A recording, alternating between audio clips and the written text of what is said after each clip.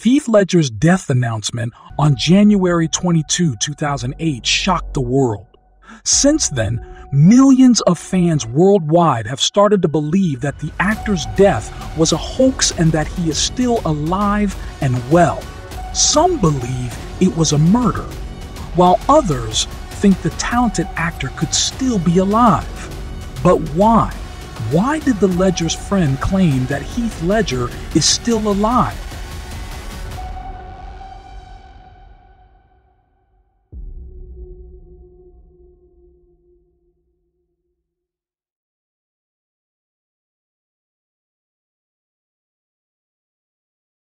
When Heath Ledger passed away in 2008, the world was in shock.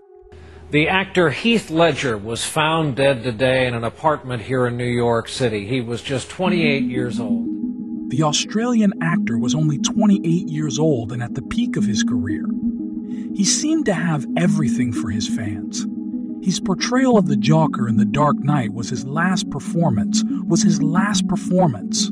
Ledger's portrayal of the Joker was considered by many to be the best rendition of the character in Batman movies.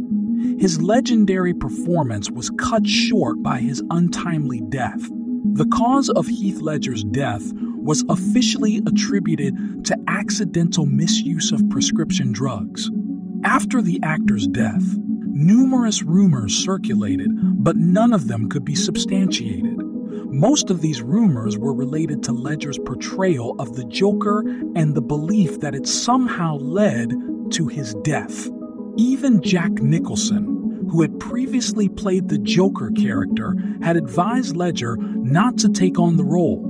Despite Nicholson's warnings about the impact of the character and the negative effects it could have on a person, Ledger accepted the role. After this news broke, people started to believe that Ledger died because of the Joker role. Ledger had secluded himself in a hotel room for a month, trying to immerse himself in the role of the Joker. This was a dangerous approach for his mental state. However, Ledger was determined to deliver a different performance from the previous portrayals of the Joker in the previous Batman films. Could it be that getting too absorbed in the character of the Joker, which won him an Oscar posthumously, led to his demise? Ledger had become deeply attached to the character he portrayed, as described in an interview. He referred to the Joker as a psychopathic, mass murdering, schizophrenic clown, and his diary revealed how deeply he was affected by the character.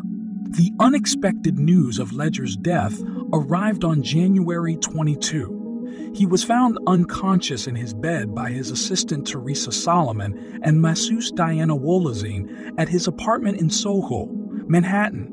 After they alerted the police, Ledger's family members also arrived at the scene. Following these events, supposed death in 2008, hundreds of eyewitnesses claimed to have seen him in various cities around the world, including shopping malls, taxis, and even in Perth, his hometown.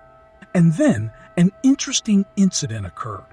Tony Kanal, the bassist of the band, No Doubt, was shocked by an individual who claimed that Heath Ledger was still alive and living in Tony's house.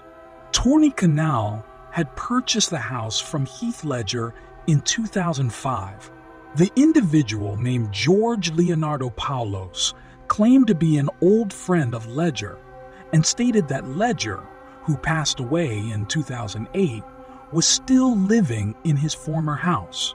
Musician Tony Kanal, age 52, has been harassed with his family at his home in Los Angeles for some time, and he filed a lawsuit against a man named George Leonardopoulos, stating that his family is now afraid of this situation. Leonardopoulos also threatened Tony Kanal and his family, saying, If you know what's good for you, you'll let me in. The court issued a restraining order against Leonardopoulos for disturbing the family. In short, Leonardopoulos claims that Heath Ledger is still alive and hiding in the house where he used to live. But could Heath Ledger really be alive? there are some suspicious circumstances. First suspicion time of death. All the news channels and newspapers wrote the time of Ledger's death as 3:36 in the morning. But then the security guard of the apartment building said it was about 3:45. It was okay, Ledger. He was on a phone call with someone. I think the TV was on. But it was 2:45 a.m. when the housekeeper noticed that Ledger was not breathing. Our second suspicion, the foot part in the body bag. Ledger fans claim that the feet of the corpse seen in the body bag are very thin, so there may not be a person in the bag, but a statue made of wax. Although the rest of the body parts are realistic, the foot side looks very thin. Could it be that the bag was stuffed inside and the leg part was forgotten? Our third suspicion Mary Kate Olsen. When the news of Ledger's death reached Mary Kate Olsen, who we know was a very close friend of Heath, she was at home. And it is said that she didn't even react and even attended a celebration next day. Why would someone not react when their close friend dies? And why would you attend a party and have fun the next day? There are also those who claim that Ledger staged his death because he was overwhelmed by fame and had some difficulties in his life. They suggest that he faked his death to start a normal life and escape from the pressures of fame and his troubled relationship with his wife. And there is one more interesting claim. Fans have suggested that the director of the film, Christopher Nolan, prepared such a plan to boost the film's box office by thinking that the film would not be successful. It is said that Ledger was shown as dead, and the final scene of the film could not be shot because he died. This way, the film would be talked about more, and everyone would go to see the film in honor of Ledger.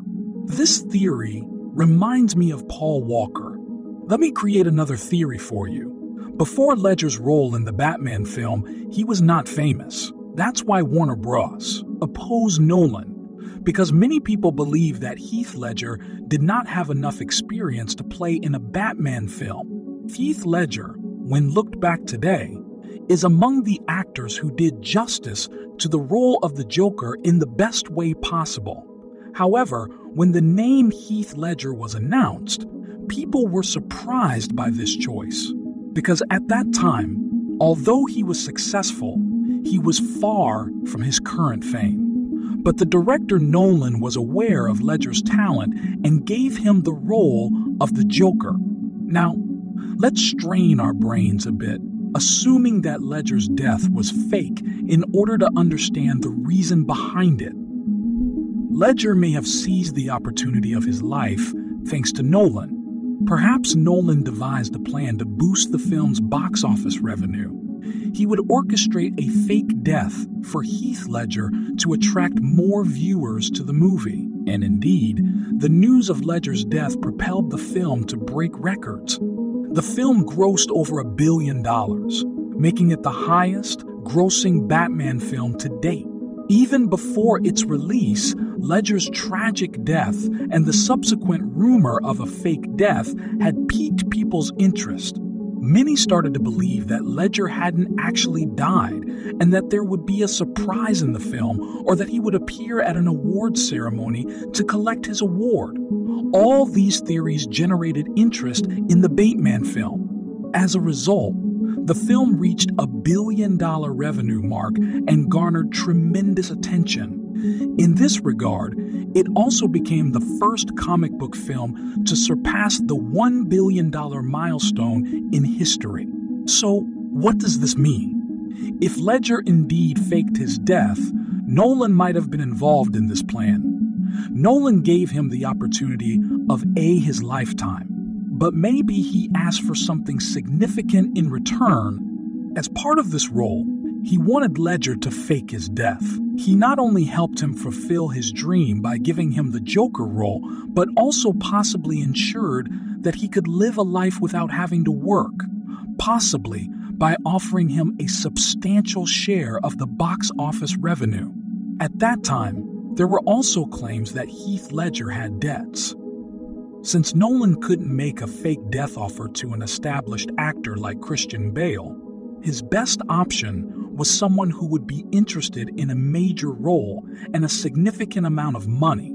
That person could only be Heath Ledger.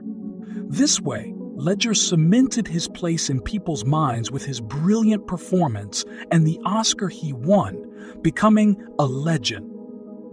And the Oscar goes to Heath Ledger in The Dark Knight. No matter how talented Ledger was, Hollywood is ruthless. So, Ledger might have never had such an opportunity in his life. A fantastic role, a substantial amount of money, and an Oscar. Ledger may have wanted to embark on a new life, gaining many things. Do the fake deaths in the Batman film give us a clue? In the Batman films directed by Christopher Nolan, we have witnessed several instances of fake deaths. The Joker faked his death by getting inside a body bag. Commissioner Gordon was also believed to have died but later returned after the Joker blew up the hospital, it was believed that Harvey Dent had died, but he managed to reappear. And in the final film, everyone thought Batman had died, and they even built him a grave. But Batman wanted to start a new and peaceful life, so he faked his death. So, we have seen numerous instances of fake deaths in the Batman film. What do you think about this theory? Do you believe that Heath Ledger might have faked his death thanks to Nolan? If Heath Ledger is still alive, why do you think he would have faked his death? My opinion is that Heath Ledger was indeed killed. His fate resembles that of Bruce Lee's son, Brandon Lee, more than Paul Walker's. Eight days before the completion of filming The Crow, Brandon was shot with a gun fired by his co actor, Michael Massee. it was claimed to be an accidental death, but I believe it was an assassination. So, in my opinion, Heath Ledger was killed by someone. But who benefited the most from this? Will we ever be able to learn the truth? Probably not. But the legend of Heath Ledger will live on forever.